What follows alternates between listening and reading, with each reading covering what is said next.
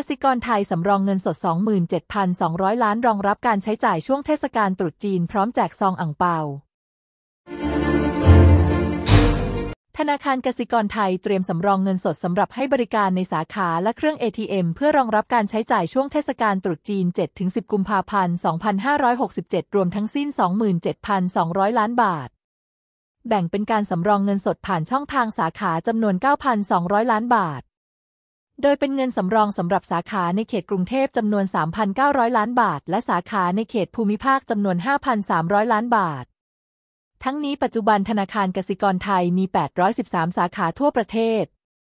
สำหรับการสำรองเงินสดเพื่อเครื่อง ATM KATM ที่มีอยู่จำนวนกว่า 9,100 เครื่องทั่วประเทศเป็นจำนวนทั้งสิ้น 18,000 ล้านบาท แบ่งเป็นการสำรองเพื่อบรรจุเครื่อง ATM ในเขตกรุงเทพจำนวน 7,500 ล้านบาท และ ATM ในเขตภูมิภาคจำนวน 1,500 ล้านบาท นอกจากนี้ยังแจกซองอ่างเปาผลิตจากกระดาษ Green Offset ที่เป็นมิตรต่อสิ่งแวดล้อมจำนวน2ล้าน5แสนซองเพื่อใส่ธนบัตรแจกจ่ายในช่วงเทศกาลตรุษจีน